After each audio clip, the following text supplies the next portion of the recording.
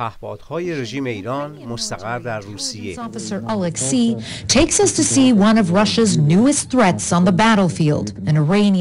افسر اطلاعات ارتش اوکراین الکس ما را به دیدن یکی از جدیدترین سلاح‌های روسیه در میدان نبرد می‌برد. یک پهپاد ساخت ایران معروف به مهاجر شش. روسها از اون برای شناسایی و بمباران بسیار بزرگ استفاده می کنند. اینجا رو ببینید این سوراخ نشان می دهد که به این پهپاد از طرف نیروهای اوکراینی شلیک شده است. اینجا هم تاریخ رو می بینید که نوشته 2022 که تاریخ ساخت این پهپاد است. مربوط به زمانیه که روسیه شروع به استفاده از این هواپیماهای بدون سرنشین کرد. تحقیقات نشان می دهد در پهپادهای ایرانی که توسط روسیه به اوکراین شلیک می شود از فناوری های غربی سرقت شده استفاده شده است. ما مشکلات جدیدی در میدان نبرد داریم. تنها در هشت روز گذشته بیش از 100 پهپاد به سمت اوکراین شلیک شده است. پهپادهای شاهد 136 زیرساختهای غیر نظامی اوکراین رو تخریب کرده و در مردم عادی وحشت ایجاد کرده است. کرملین می‌گوید فقط تجهیزات روسی با تکهای روسی در عملیات به اصطلاح ویژه استفاده می شود. الکس به ما می‌گوید uh, uh, things.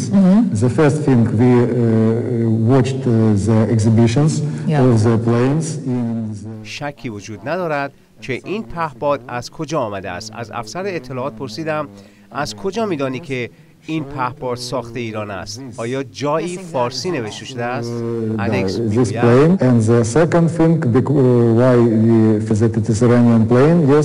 uh, have بله. اول اینکه ما این پهپاد را در نمایشگاه های کشورهای دیگر دیده ایم که ایران به نمایش گذاشته بود.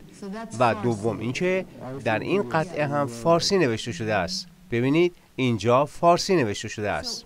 بنابراین آنچه مشخص است این است که ایران سعی می کند این واقعیت را پنهان کند که این پهپادها ساخت ایران است. اوکراین خواستار تحریم های بیشتری علیه ایران به دلیل تأمین پهپادهای روسیه شده است اما تاکنون تحریم ها تأثیر چندانی نداشته است. قطعات این پهپادها به صورت تجاری در تعدادی از کشورهای مختلف ساخته می شود مثلا باتری آن ساخت ژاپن است موتور آن اتریشی و پروسسورها ساخت آمریکاست. این پهپاد مهاجر 6 است. ولی ما در حال حاضر شاهد پهپادهای کامیکازی شاهد 136 هستیم و نسل جدیدی از پهپادها به نام آرش دو که در حال وارد شدن است. الکس گفت او معتقد است که در ماه‌های آینده پهپاد آرش دو ایران به روسیه عرضه می شود چون تأثیر بیشتری دارد زیرا پهپادهای کوچکتر شاهد 136 کامیکازی می توانند تقریبا 40 کیلوگرم مواد منفجر رو در خودشون جای بدن. اما آرش دو می تواند 200 کیلوگرم مواد منفجر رو حمل کنه یعنی پنج برابر قدرت انفجار دارد. بنابراین یک محموله کشنده است و اوکراینی ها از جامعه بین المللی که به آنها کمک کنند تا جلوی این کار را بگیرند.